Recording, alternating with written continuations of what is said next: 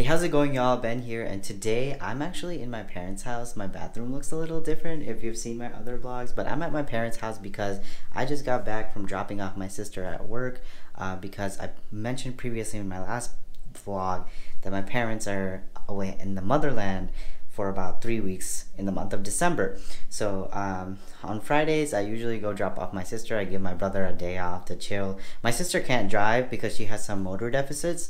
Um, so it's safer for us to drive her to work. Um, so that's why I am here. But also, my siblings are the I'm the only person in my family that's really ventured out of the family home. So I know how to live independently while my siblings have uh, my mom and my parents uh, who do a lot of like some of the everyday day to day tasks. So um, nah, my siblings can't really cook that much. So I thought today would be a great day to, um, after dropping off my sister to work, take my brother out grocery shopping and uh, teaching him like how to cook some really good basic meal prep that I make that's delicious, high in protein because he also lifts and um, that tastes good. Stores well and tastes good. That those are my things because I hate the fact I hate the idea that meal prep has to taste bad. It doesn't. So our goal is to make some ground beef stroganoff today and some green curry, some green curry uh, um, shrimp. So we'll see. It'll probably go well. And I got up really early in the morning because apparently my sister's shifts on Friday are like super early. So I haven't brushed my teeth or gotten ready for the day yet, like gotten cute for the day. So we're gonna go ahead and do that. So I want to start off by saying that my parents like totally lied to me. They told me that I could uh, come here, live in their bedroom, their master bedroom, by the way, use the bathroom and everything. It'll be a super comfortable, amazing experience for me. And I don't think my parents realize that I've grown over the years and I'm much more of a neat freak. This place was really gross. Like the bathroom was super gross. I hated getting ready for the day in here.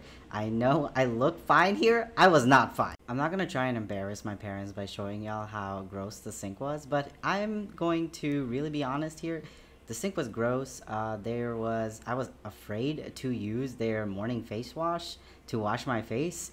Uh, I, was honestly uh, disgusted.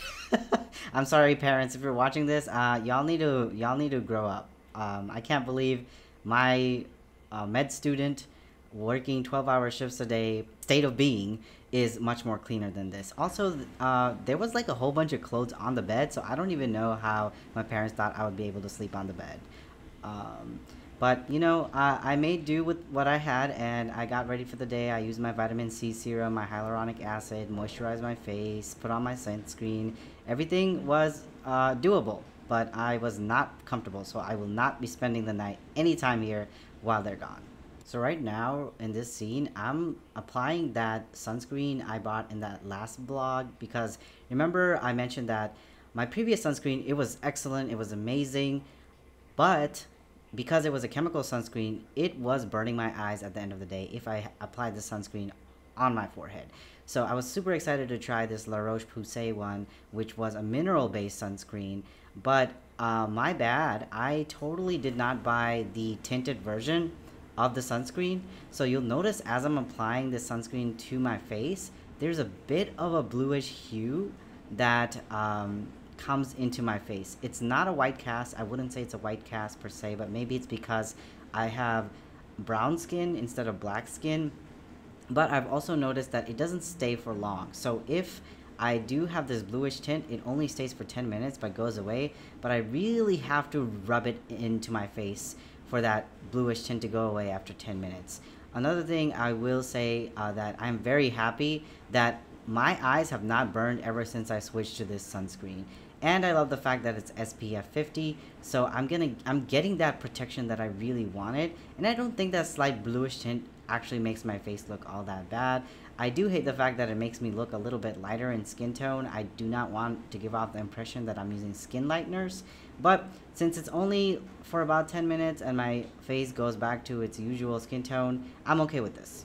So after getting ready in the morning, I took my brother over to Kroger so we could go grocery shopping just because uh, Kroger was the closest place to my apartment. We also had to do all the cooking at my apartment about 15 miles away from my parents' home because my mom only keeps South Asian food ingredients at the house.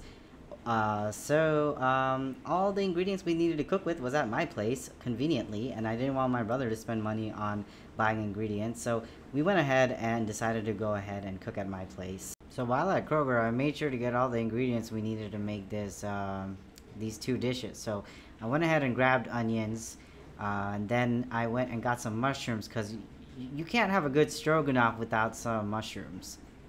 And then we slowly went over to the uh, fish aisle and got some shrimp because the green curry shrimp will need shrimp. And I grabbed the largest um, peeled and deveined shrimp I could get because I hate peeling and deveining shrimp. It's the biggest waste of my time.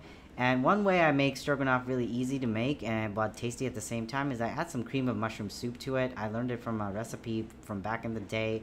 And of course we got to get our sour cream to add that zesty tanginess to the stroganoff. And lastly, we got to get the Worcestershire sauce. Uh, it was according to the recipe to make really good stroganoff. To be honest, I will probably never use this sauce ever again after making this recipe. So um, I got the cheapest Worcestershire sauce, blah, blah, blah, sauce I could get. As soon as we got back to my apartment, we immediately started prepping the food to start cooking. And yes, you can already tell that my brother is at least a billion inches taller than me. Okay, we won't talk about that.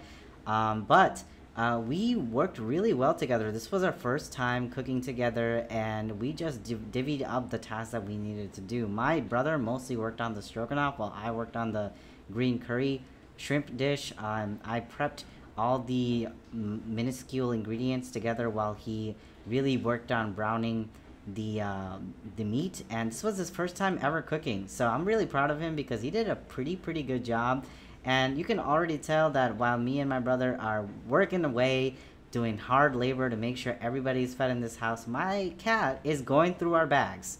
Like, no self respect or respect for us while we work so hard to get some delicious meals ready for us so that my brother and my sister have things to eat while I'm not home just because I'm so busy, I worry about them a lot. So I wanted to make sure that we made some really delicious dishes before I couldn't really interact with them for the rest of the week. So by this time, we were already done making the stroganoff. It is delicious. I mean, this is our first time ever making it, and it turned out fantastic, guys. Like, it was tangy, creamy, absolutely freaking delicious. I I couldn't believe it. And then uh, the green curry is almost done. We just had to add the shrimp at the end, but then after adding the shrimp, all the dishes were done. And this is how much food we ended up making all together. It's a lot, and I am so proud of us. Ah, I ended up keeping one container of each because that is my consultation fee for doing all this labor for my siblings while also studying for med school, taking an elective, and uh, doing interviews. So I just think I deserve them. So I just grabbed two of these and put them aside and put them in my freezer before we were ready to go back home to our family home so I could pick up my sister from work. One last thing we have to do before though is I wanted my brother's opinion on the shot of Bombay Sapphire because I think this thing tastes like battery acid and I wanted to get his reaction on it because um, I bought this about six months ago and I still haven't finished it because of um, it is not that great honestly. So uh, let's see let's see what he thinks you know, take your time. you know, I'm not gonna tell you do it now. Just when you're ready. I'm okay, just, just just take the full shot. Yeah, just take the full shot.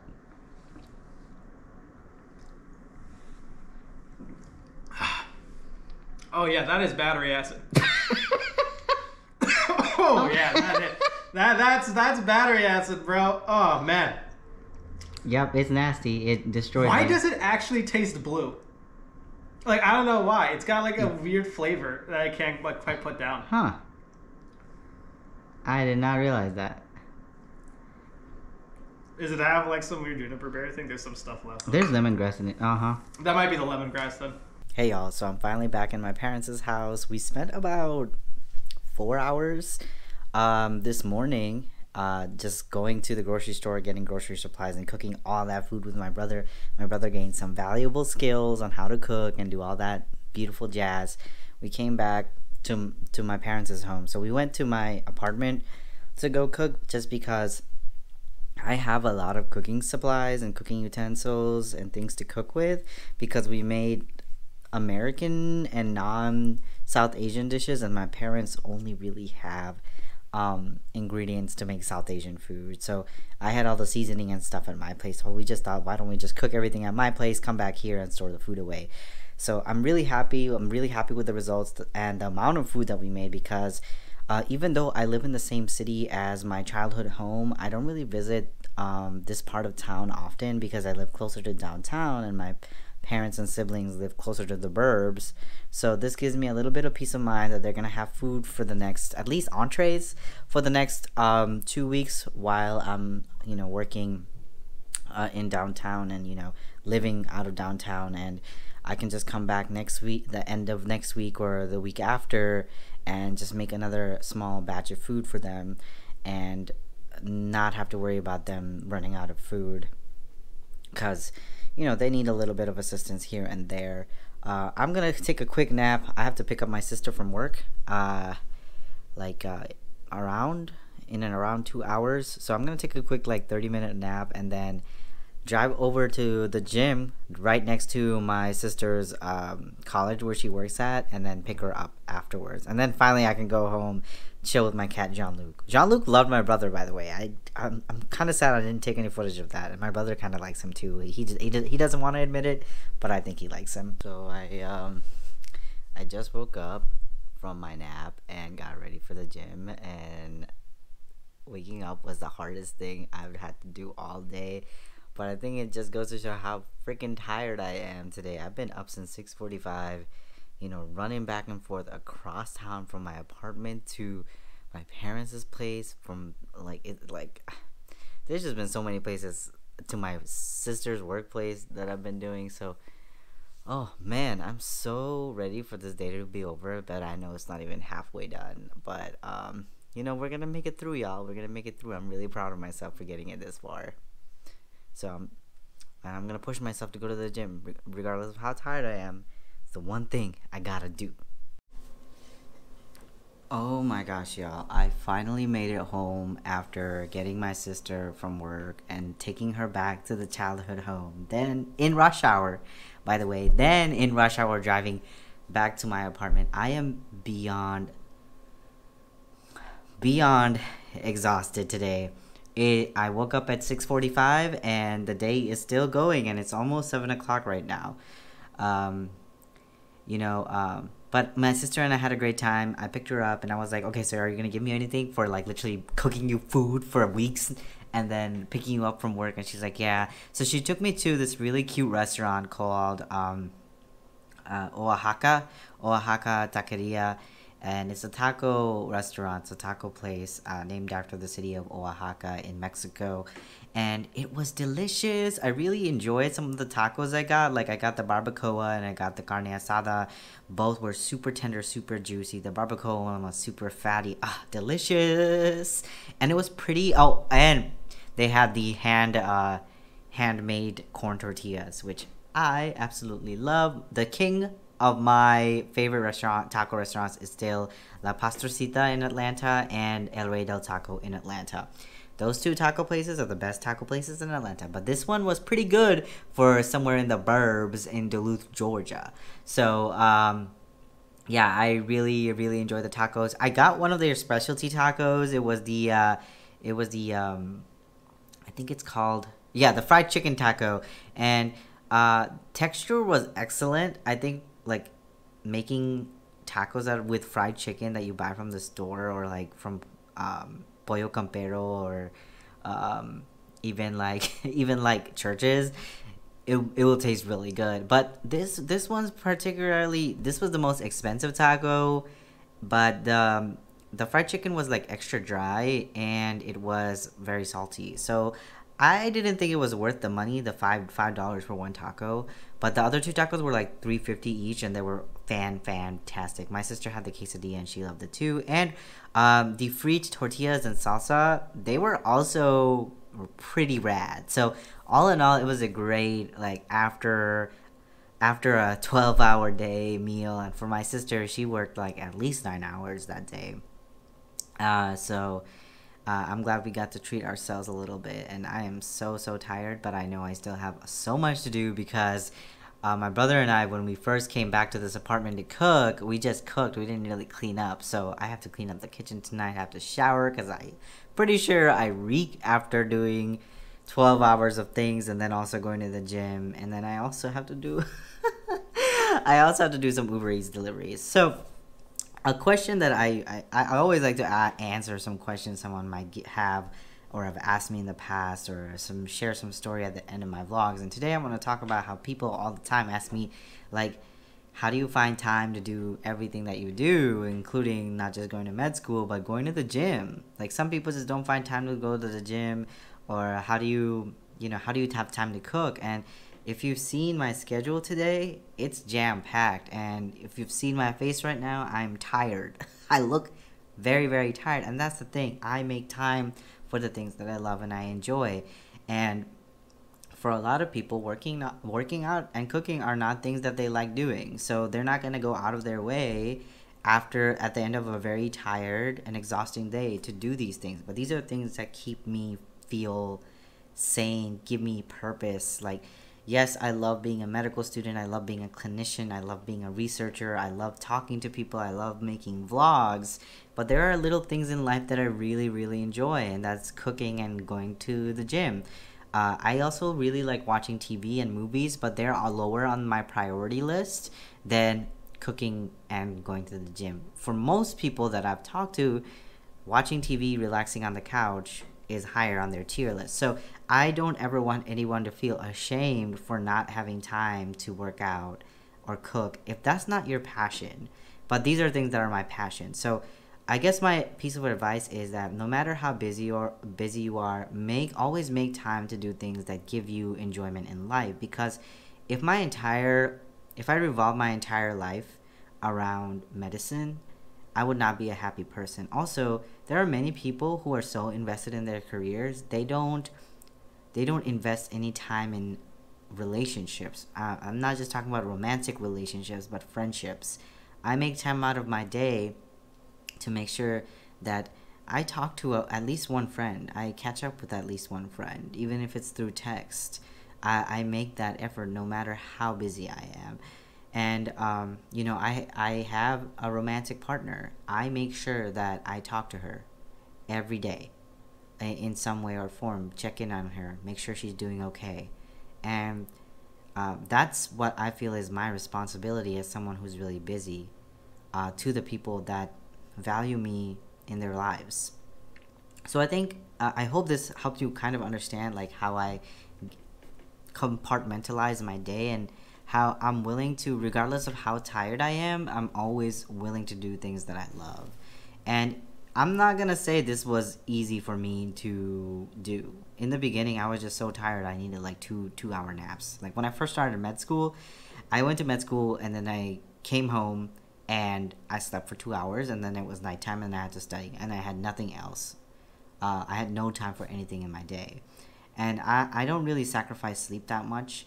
Uh, I'm going to be really honest. I make sure I get at least six to eight hours every day. I don't I don't go with only like five or four hours. That only happens if it's an emergency or anything like that. So, I guess my piece of advice is do what makes you content with life because this is what makes me content with life. Um, anyways, thank y'all so much for tuning in to today's vlog, and I hope uh, you enjoyed some of the things that I got to do, and I hope you got enjoyed like seeing what I do with my family members when I do have time to spend with family. I love y'all. Mwah. This is Ben.